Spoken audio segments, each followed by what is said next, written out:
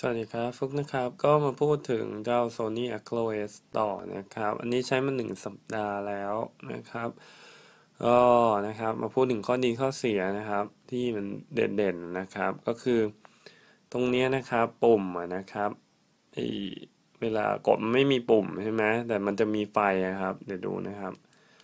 มันจะมีจุดเล็กๆอยู่ข้างล่างนะครับ คือจริงๆเวลากดกดให้โดนนะครับ กดให้โดนไม่ใช่กดที่ไฟนะครับ มันต้องกดที่ที่ตัวแบบ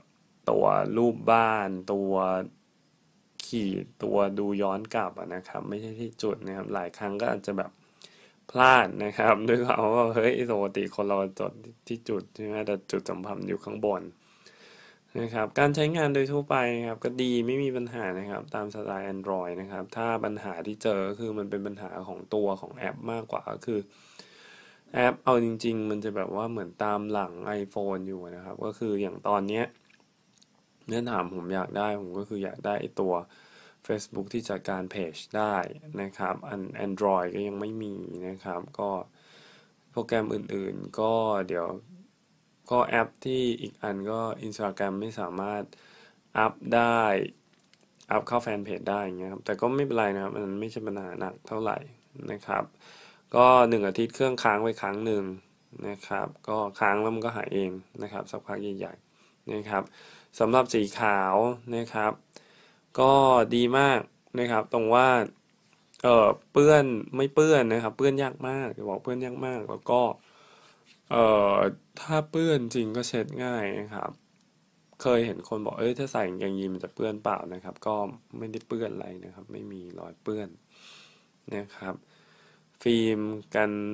รอยหน้าจอที่มันให้มาแล้วนะครับ ถ้าสังเกตดีๆ มันจะมีแบบฟิล์มติดไว้บางคนบอกว่า ถ้าแกะออกแล้วจะ touch ลื่นขึ้นนะครับ แต่ก็ก็เท่านี้ก็โอเคนะ คือผมยังไม่กล้าแกะเพราะว่าผมไม่แน่ใจว่าฟิล์มกันรอยมีขายหรือยังนะครับ แล้วจริง ๆ เวลาชาร์จอะคือเอาจริงนะขี้เกียจแกะไอ้ตัวเนี้ยแกะตัวตัวไอ้ข้างบนเนี้ยนะครับ ก็ที่บอกกลัวว่ามันจะพังเร็วนะครับ อยากจะพกแท่นคือเขาก็ให้แท่นแล้วมันก็โอเคอยากจะพกแท่นไปทุกที่นะครับ แต่สิ่งที่สนุกนะครับ ตอนนี้ก็คือนี่ใช้คู่กับเจ้า Smart Watch นะครับของ Sony นะครับ ก็อันนี้ก็จะ Connect นะครับกับตัวมือถือนะครับ ก็ช่วยให้แบบว่าเวลาส่วนใหญ่เราจะพลาดรับสายนะครับ เวลามันสั่นเงี้ย ก็อันเนี้ยมันจะสั่นที่นาฬิกาเลยนะครับ แล้วก็ระบบเตือนอีกมากมาย